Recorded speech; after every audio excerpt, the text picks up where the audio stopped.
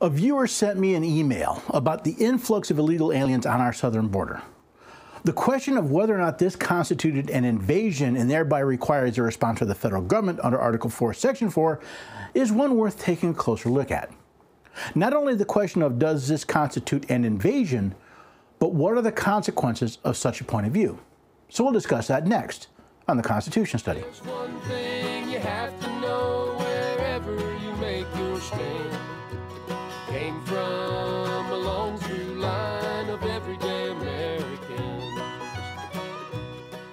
Hello there, everyday Americans, and welcome to the Constitution Study, where we read and study the Constitution. We teach the rising generation to be free. I am glad you could join me. As always, please head to the website, constitutionstudy.com, for all the information you want. You, you want the text version of this episode, you'll find it there. You want previous videos, previous articles, it's all there. You want to know where I'll be speaking or invite me to come speak to one of your events, it's all there. Now, I'll talk a bit more about that and some other things at the end of the video, but for now, let's dive into this idea of a southern invasion. Under Article 4, Section 4 of the U.S. Constitution, the United States is required to guarantee to the states certain things, including the protection against invasion. The United States shall guarantee to every state in this union a Republican form of government and shall protect each of them against invasion and, on application of the legislature or of the executive when the legislature cannot be convened, against domestic violence. The first thing we need to determine is does the influx of a large number of illegal aliens constitute an invasion? Well, we start where we start with all definitions of words with a dictionary. Invasion is a noun, a hostile entrance into the possession of another, particularly the entrance of a hostile army into a country for the purpose of conquest or plunder, or the attack of a military force. Are the people who are illegally crossing our border hostile? Some of them are, but the vast majority don't appear to be so. Hostile is an adjective belonging to a public enemy, designating enmity, particularly public enmity, or a state of war. Inimical as a hostile band or army, a hostile force, hostile intentions. While their presence is problematic, that does not make them a public enemy. The enemy is a noun, a foe, an adversary. A private enemy is one who hates another and wishes him injury or attempts to do him injury to gratify his own malice or ill will. A public enemy or foe is one who belongs to a nation or party at war with another. The vast majority of those illegally crossing our borders do not belong to a nation or a party that is at war with the United States. Neither do most of them make up a hostile band or army. Now, regardless of their size, these people do not constitute an invasion as our founding fathers defined it when they wrote the Constitution. Neither, by the way, do they meet the legal definition of an invasion. From the Free Legal Dictionary, an invasion is the entry of a country by public enemy making war. So if this dramatic influx of illegal aliens doesn't meet either the constitutional or legal definition of invasion, what is it? Well, let's start at the beginning. Constitutionally speaking, Article 1, Section 8, Clause 4 gives Congress the power to establish an uniform rule of naturalization and uniform laws on the subject of bankruptcy throughout the United States. Notice, Congress has the power to set rules for naturalization, the, the act of becoming a citizen, but not for immigration or visitation. Immigration is becoming a permanent resident, while visitation is a temporary one. This means that according to the 10th Amendment, the power to regulate immigration or visitation is retained by the states. Therefore, this should be primarily a state issue. However, decades ago, the states allowed the United States to usurp their control over immigration into the states, which leads us to the next point on our journey. Since the states now expect the United States to regulate immigration, Congress has passed numerous laws to do so. Why is this important? Because each and every member of Congress has been hired by the American people to represent them, either in the House of Representatives or for their state in the Senate. Now, whether you like our country's immigration laws or not, they were created by employees of the people who represent them and exercise their sovereign power in the people's name. Congress, though, is not the only branch of the federal government responsible for this mess. See, while Congress is tasked with making the laws of the United States, the president is required to faithfully execute those laws. Since the state legislatures have decided to allow their citizens to determine who their state should vote for in the presidential election based on their political party affiliation, The men who have held the office of president in the last several decades got there by the will of the American people. So there are two branches of the federal government that are part of this mess Congress for the laws they have passed, and the president who has failed to execute those laws.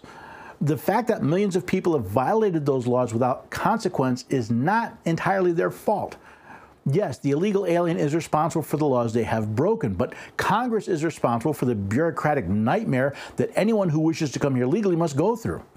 Also, the president is responsible for the incentive many of these aliens see, since there are effectively few consequences for breaking American law. Now, our current border crisis should be a surprise to no one. History is replete with examples of what happens when laws are not enforced. The rate of illegal aliens entering our country is directly correlated to the leniency shown by the presidential administration in office at the time. You would think after 50 years of observing this correlation, the American people would have figured it out. Apparently not. Even though this cause and effect has been readily observed throughout the United States. Currently, there are two district attorneys in California facing recall because their failure to prosecute crime has led to an intolerable increase in those crimes. Businesses in these cities are closing because of the level of theft they are forced to endure without any redress because prosecutors have decided to be derelict in their duties and not prosecute crimes they don't think are worth it. While many in California and in fact America as a whole are rightly angered by the current state of what is laughably called our justice system, there is one point they seem to have missed. Neither of the district attorneys currently facing recall in California made any secret of their stance on prosecuting what they often refer to as petty crimes. President Biden campaigned on the idea of allowing people into the country illegally, then dealing with them after the fact. He, he, promised to suspend deportations and detention of migrant families and reduce room for immigrant detention. So, why is anyone surprised that millions are taking advantage of the promises to be lax on enforcement of U.S. law? Now, before you start pointing your finger at President Biden and his administration, there's one very important point you need to consider. Knowing what President Biden planned to do when he entered office, tens of millions of Americans voted for him. The current state of our border crises is a direct result of the choices made by the American people. In other words, both President Biden and our alleged invasion are our fault. I believe there are two primary reasons behind this call to declare what's happening on our southern border an invasion. Now, first, there are those who want to use the term invasion to prod the federal government to act under Article 4, Section 4. I've even seen some people go dictionary shopping to find a definition that will promote their cause, ignoring the fact that the sense of the word they are basing their claim on is not the primary sense, even in the dictionaries they quote. I expect this approach to be another utter failure since it basically is trying to shame the president into doing what he's already said he would not do. If the president won't enforce current immigration law, what makes you think he's going to do so because you call it an invasion? He has paid no political price for his position, so why should he change just because you altered the language? Second, and of even more concern to me, is the attempt to define the surge of illegal border crossings as an invasion is an unconscious attempt to redirect the blame onto someone else if this truly were an invasion, those entering the country would be considered hostile. There are many in this country that would use such a designation as an excuse to blame the alien for all of their problems. This is already the case in many locations. The lack of jobs, overflowing of our schools, hospital, and medical clinics are blamed on the influx of illegal aliens. Now, while in many cases that may be true, it's rather like blaming the Titanic itself for its sinking rather than its crew. Most Americans drive faster than the speed limit because they know there's a little chance of actually getting pulled over. If you knew there was very little risk that you would actually be punished, how many of you would turn down the chance to rob a bank, cheat on your taxes, or even assault that idiot who cut you off in traffic and gave you the finger? Or what if you could earn 10, 20, 30 times more than you do today, and all you had to do was cross a border without permission or consequence? Would you do it? Yet there are some Americans eager to blame the illegal alien not just for violating our laws, but for the fact those laws are not being enforced in the first place. A law that is not enforced is a waste of time and energy. So, who is ultimately responsible for the fact that our border crossing laws are not being enforced? Is it the alien who breaks those laws? Is it the criminal who takes advantage of the lax enforcement of those laws? Or is it the federal agent on the border? No. There are only two groups of people responsible for the fact that our border laws are not being enforced.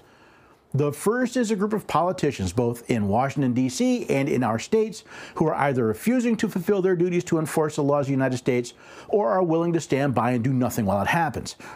The second is the American people who put up with them.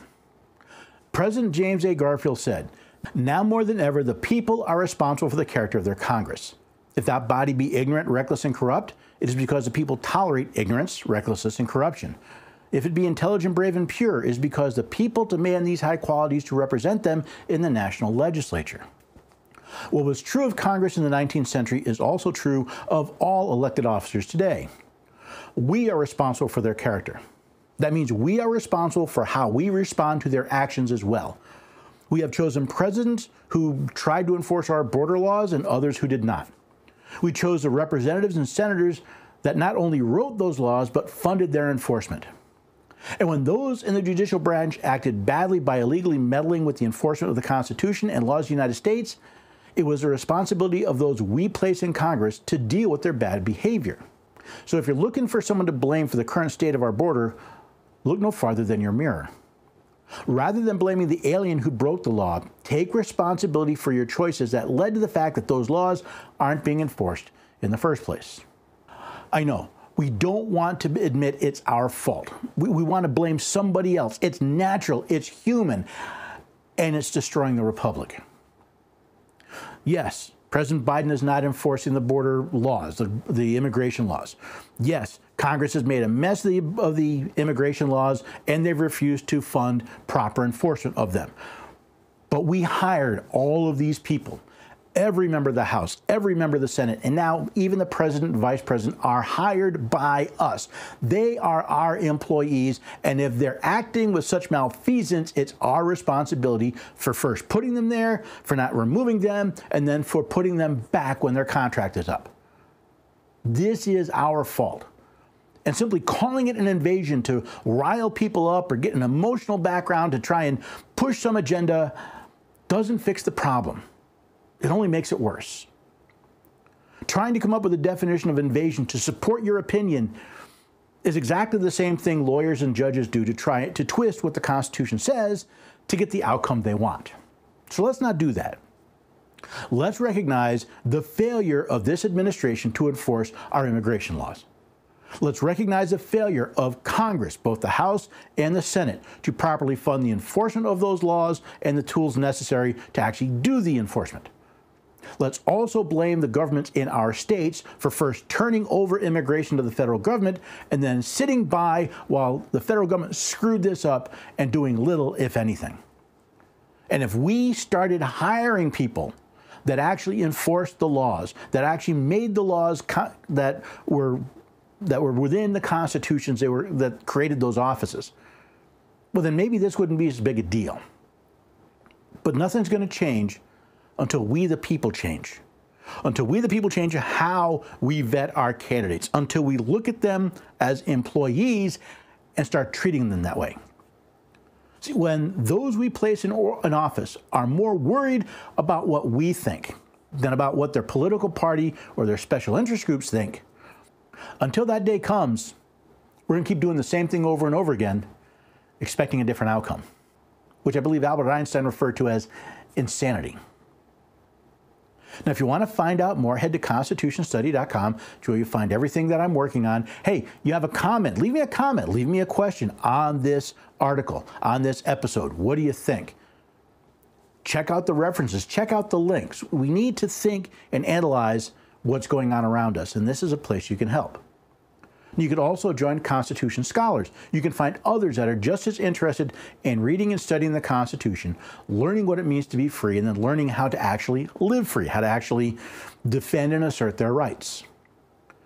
Now, any way you can support these groups would be wonderful. They help me put on these, these episodes, they help me write the articles, they help me speak around the country to help educate people about the Constitution. Now, if all you can do is visit the website and share those articles, that's great. I appreciate that. Let's get the word out so that more and more people understand that there is an answer, that, that we're not living at the whim of others unless we let ourselves. See, if we want to remain the land of the free, we're going to have to once again learn how to live free. That means putting our employees in government offices back under our control. Now, hopefully, you'll learn something in this episode. Hopefully, you'll share this episode. And hopefully, you'll come back here for the next episode on the Constitution study. And oh, by the way, bring a friend.